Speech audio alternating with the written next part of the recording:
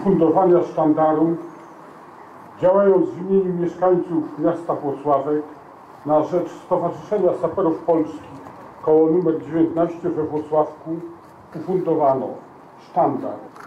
Niechaj ten sztandar będzie znakiem uszanowania tradycji Włocławka jako historycznego garnizonu wojskowego i symbolicznej łączności mieszkańców Włocławka z żołnierzami wojsk inżynieryjnych.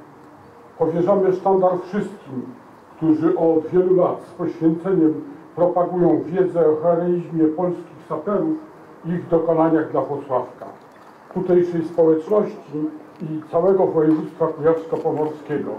Podpisano przewodniczący Rady Miasta Włocławek Stanisław Warządowski, prezydent miasta Andrzej Pałucki.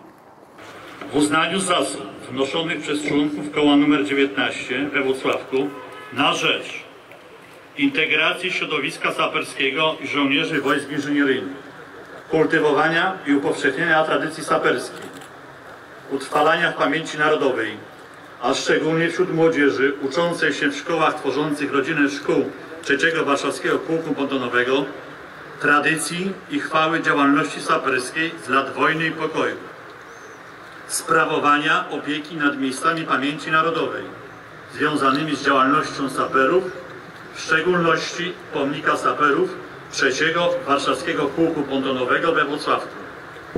Zarząd Główny Stowarzyszenia Saperów Polskich nadaje sztandar koło nr 19 Stowarzyszenia Saperów Polskich we Włocławku.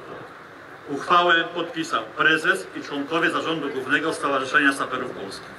Odbywa się to dzisiejsze święto na centralnym placu we Włocławku i słusznie, że to jest taka pogoda i takie miejsce.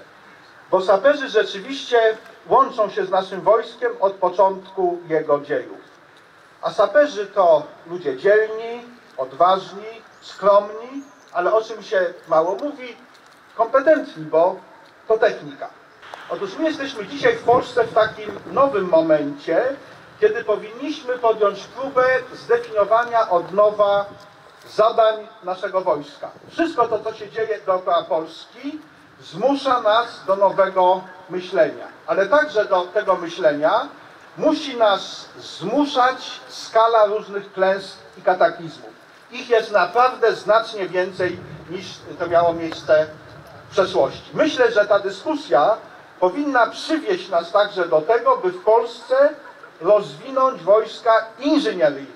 Bo nie jest prawdą, że z każdą klęską mogą sobie poradzić dzielni i wspaniali strażacy.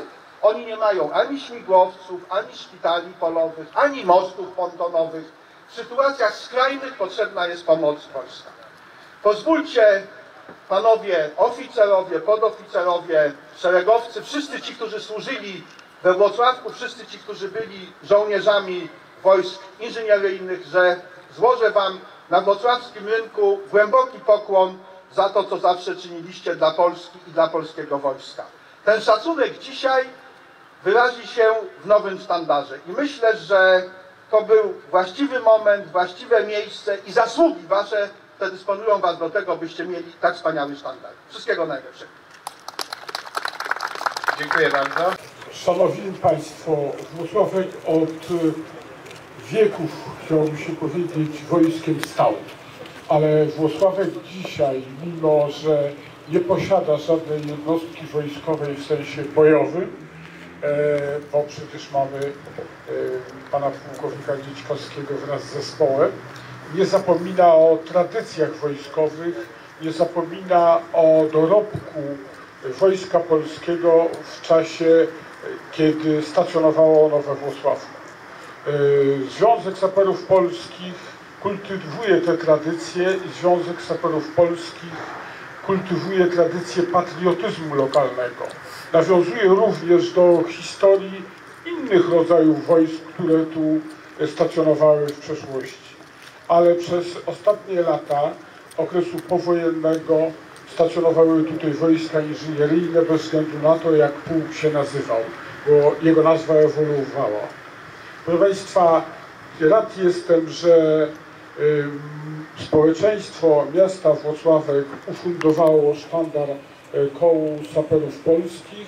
Rad jestem, że to koło współpracuje z przedstawicielami innych rodzajów wojsk, których byli żołnierze mieszkają na terenie miasta, że nie brakuje go na żadnych uroczystościach patriotycznych i dziękuję za to, że spotyka się z młodzieżą i krzewi nutkę patriotyzmu w młodych umysłach. E, Życzę, abyście byli wytrwali e, w tym działaniu, wytrwali w kultywowaniu tradycji wojskowych i patriotycznych, a te życzenia składam w swoim i przewodniczącego Rady Miasta Stanisława Warząkowskiego. Panie Prezesie Stowarzyszenia Saperów Polskich, Szanowni Zebrani. To z Waszej woli, Szanowni Państwo, podyktowanej głosem serc, nostalgicznym wspomnieniem i umiłowaniem tradycji Wojska Polskiego, a głównie wojsk inżynieryjnych, prezydent miasta Włocławka patronuje dzisiaj saperom. Skupionym Stowarzyszeniu Saperów Polskich, którzy otrzymają sztandar będący uhonorowaniem zasług i podkreślającym znaczenie saperskich formacji wojskowych w wojennych zmaganiach, a w czasie pokoju w odbudowie kraju i normalizacji życia mieszkańców. Tym samym ma wskazywać na takie atrybuty jak innymi odwaga, wiedza i ofiarność wszystkich żołnierzy noszących saperską korpusówkę. Ufundowany przez mieszkańców Włocławka i regionu sztandar dla Stowarzyszenia Saperów Polskich we Włocławku jest pierwszym takim sztandarem w Polsce, co z całą mocą podkreślam i ufam, że fakt ten zostanie zauważony i właściwie doceniony. Dzierżenie sztandaru łączy się niepodzielnie z honorem jego posiadaczy, manifestowanym nie tylko od święta czy podczas uroczystości, ale tak samo w życiu codziennym wobec prozy dnia poprzedniego. Całą serdecznością witam wszystkich przybyłych na, na dzisiejszą uroczystość. Jak już wcześniej wspomniałem, wojsko dla Włocławian jest wciąż nos- nostalgicznym wspomnieniem, ponieważ w ostatnich kilkudziesięciu latach saperzy swoją obecnością i działalnością wpisali się na karty historii naszego miasta. I proszę zauważyć, mimo przemian społeczno-politycznych, jakie zaszły w naszym życiu, sympatia i więzi z saperami pozostały.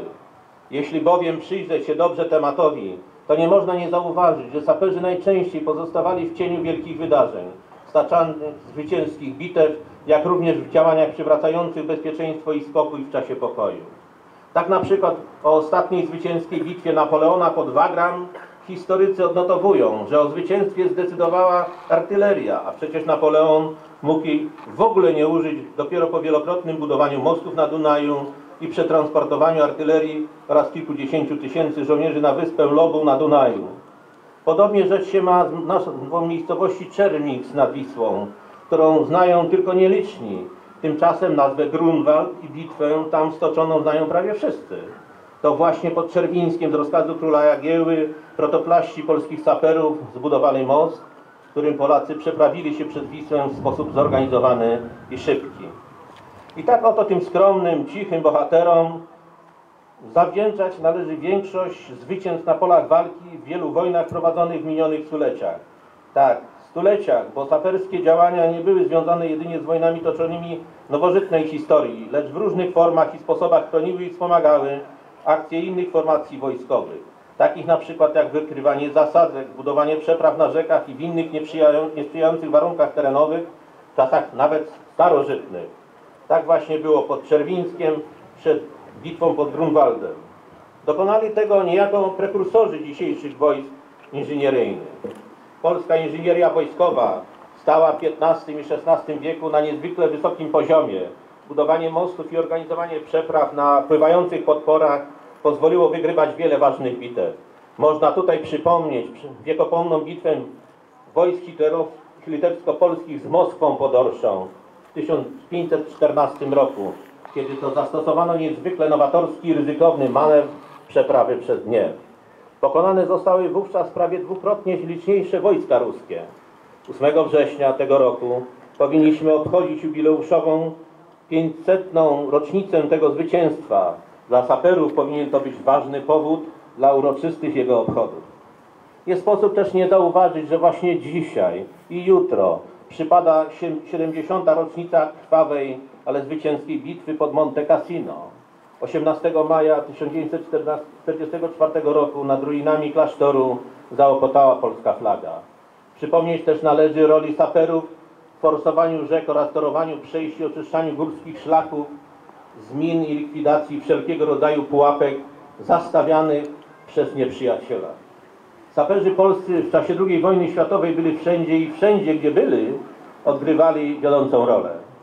Tak jak pod Monte Cassino, tak i pod Lenino, Studziankami, a później na Wale Pomorskim i przy forsowaniu Odry byli na pierwszym froncie, decydowali o powodzeniu każdej bodaj akcji wojennej. Wszyscy mamy w pamięci obrazy forsowania Odry, a później wbijania pierwszego słupa granicznego poza oficjalnymi dyrektywami zalecającymi wykonanie tego zadania.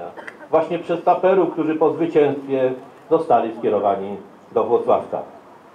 Później, gdy jeszcze nie przebrzmiały echa artyleryjskich wybuchów, jedną z pierwszych decyzji podjętej już w lutym 1945 roku przez władze wojskowe w Polsce było ogłoszenie rozpoczęcia powszechnego rozminowania kraju. Walka z tymi pozostałościami wojny trwa do dzisiaj i do dzisiaj niesie ofiary wśród saperów. Z żalem żegnaliśmy odchodzący z Włocławka do Chełna trzeci Włocławski Pułk Drogowo-Mostowy. Ale pozostał po nim nie tylko żal. Jest przede wszystkim żywe wspomnienie i pamiątki. Mamy jedyną w Polsce rodzinę szkół podstawowych noszących imiona bohaterów wojsk inżynieryjnych. Są to szkoły w Sarnowie imieniem starszego sierżanta Feliksa Rybickiego, który zginął podczas rozpoznania przeprawy przez Wisłę pod Dęblinem, w Kaliskach imieniem starszego sierżanta Mieczysława Majszaka, który był jednym z bijających słup granicznych w Czelinie nad Odrą i zginął podczas budowania przeprawy przez tę rzekę. We Włocławku szkoła nr 8 imieniem trzeciego warszawskiego pułku pontonowego, którego dzieje zebrane są w tamtejszej Izbie Pamięci i z pietyzmem kultywowane. Tak samo żywym i silnie pobudzającym nasze saperskie wspomnienia stało się powołanie do życia Stowarzyszenia Saperów Polskich we Włocławku. Po przeniesieniu pułku włocławskich saperów do Chełna w życiu miasta powstała niezrozumiała dla mieszkańców próżnia. Ale życie nie znosi próżni. Trzeba ją było wypełnić. W 2010 roku grupa zamieszkałych we Włocławku saperów podjęła rozmowy na temat powołania Stowarzyszenia Saperów Polskich w naszym mieście. Na czele grupy inicjatywnej stanął pułkownik Ryszard Hornicki. Już w styczniu 2011 roku powołano we Włocławku Stowarzyszenie Saperów Polskich. Tradycja saperska zaczęła odżywać. Odnowiono zabytkowe obiekty przy ulicy Żytniej, w pobliżu dawnej siedziby dowództwa jednostki. Zaczęto z dużym rozmachem i udziałem władz miejscowych organizować uroczystości związane z obchodami rocznic i świąt wojskowych. W ubiegłym roku, w związku z 30. rocznicą powstania rodziny szkół noszących imiona bohaterów wojsk inżynieryjnych podsumowano i oceniono działalność tych środowisk oraz odznaczono sztandary szkolne i dyrektorów szkół krzyżami czynu I i II Armii Wojska Polskiego oraz medalami za zasługi dla Związku Kombatantów Rzeczypospolitej Polskiej i byłych więźniów politycznych. Są to, proszę Państwa, naprawdę wyjątkowe szkoły, które przetrwały wraz ze swoimi patronami wszelkie burze polityczne okresu przemian. Rosnąca aktywność Stowarzyszenia Saperów Polskich we Włocławku stworzyła atmosferę sprzyjającą powstania potrzeby występowania pod własnym sztandarem. I oto mamy sztandar. Przyjrzyjmy się jemu i zapamiętajmy. Zawiera klasyczne elementy będące nośnikami patriotycznych treści w regionalnym wydaniu. Na zwieńczeniu drzewca widzimy orła białego z napisem Rzeczpospolita Polska, a wers płatu sztandaru zawiera w swym centralnym punkcie orła białego zwieńczonego laurowym wieńcem, od którego na czerwonych promieniach widnieje napis Stowarzyszenie Saperów Polskich we Włocławku. Na rewersie sztandaru w centralnym punkcie widnieje zwieńczony laurowymi na, liśćmi napis Bóg, honor, ojczyzna, a w złocistych promieniach biegnących od środka znajdujemy następujące symbole. Herb Włocławka, odznakę pułku, korpusówkę wojsk inżynieryjnych oraz odznakę Stowarzyszenia Saperów Polskich, która swoim wyrazem zwraca szczególną uwagę, ukazując w konturze granic Rzeczypospolitej Polskiej pisaną sylwetkę sapera pomnika chwała saperom w Warszawie rozbrajającego minę przeciwpancerną. Na drzewcu sztandaru umieszczono 57 gwoździ pamiątkowych z nazwiskami rodziców chrzestnych sztandaru, z nazwami urzędów, instytucji, organizacji, firm, szkół, kościoła katolickiego, osób prywatnych i rodzin wojskowych, kultywujących tradycje wojsk inżynieryjnych, którzy współpracują z naszym stowarzyszeniem. Jesteśmy zatem świadkami historycznej uroczystości, która nie może nie wzruszyć każdego, kto ma serce i poczucie więzi z żołnierzami Wojska Polskiego, w tym żołnierzami wojsk inżynieryjnych.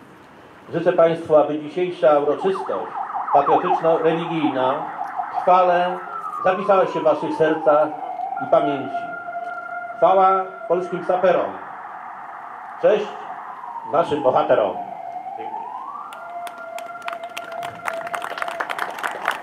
Sztandarowego. Dowódcą pocztu jest major Stanisław Sierocki, absolwent